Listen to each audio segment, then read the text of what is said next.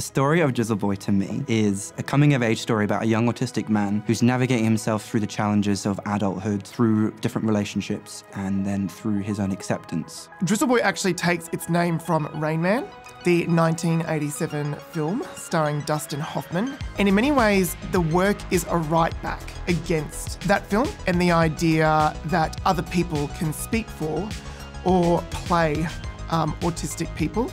I think if you want to tell a story like this, it can only really happen through expression of authenticity. In recent times, a lot of stories have been told, but always through the perspective of a neurotypical lens, and then often being performed by actors who don't share the same lived experiences. And so I think as a result, we see imitation and exaggeration. But when you work with someone who is neurodivergent, that lends the story and the experience far more credibility, authenticity, but also power.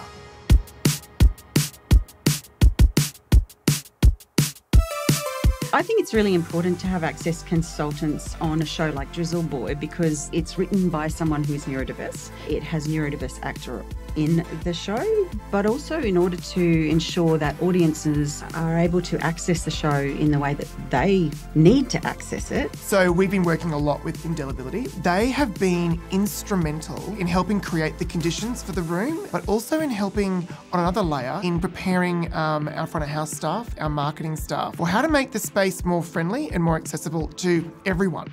When talk about a sensory experience or accessibility in theatre, it's often uh, a secondary layer.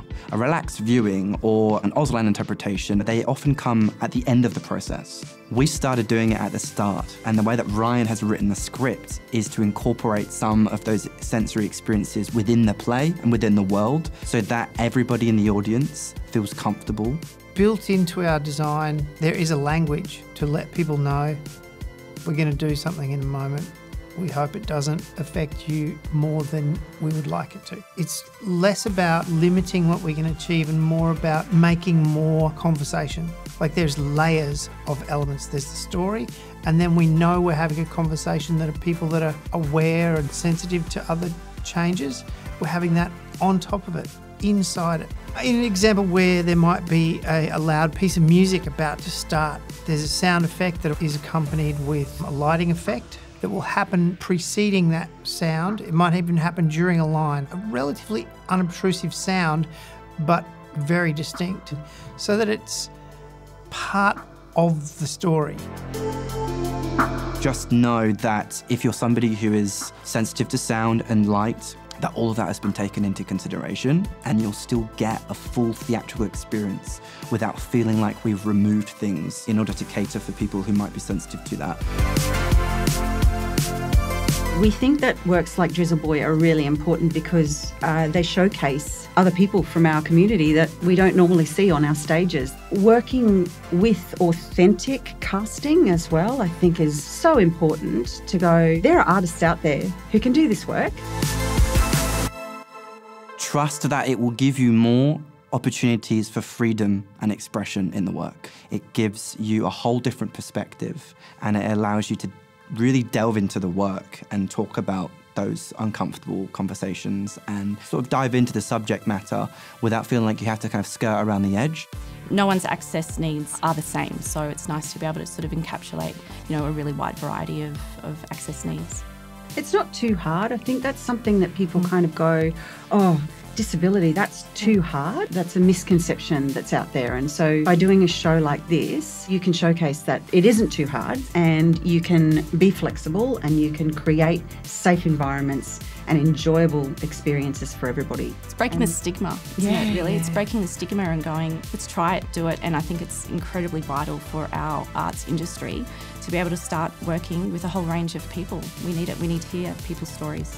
There's no such thing as the universal experience, that everyone is made up of a multitude of experiences. And for people who are neurodivergent, those experiences are vast and different and sometimes painful and complex but equally beautiful. The first thing I learned on this project is that autism is not a sliding scale, it's a palette, and that every autistic person is different. So you cannot put autism through the same lens for everybody because everybody is different shades and colours of that beautiful palette.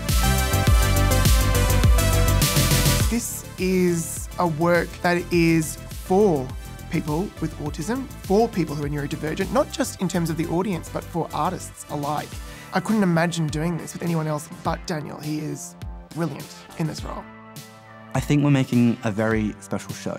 I think that it's a story for everybody. You're seeing something truly theatrical and special that you can't see anywhere else. Drizzle Boy is a celebration, it's a take back, but it's also an anthem for anyone who's ever felt different or ever been made to feel like they don't belong in this world.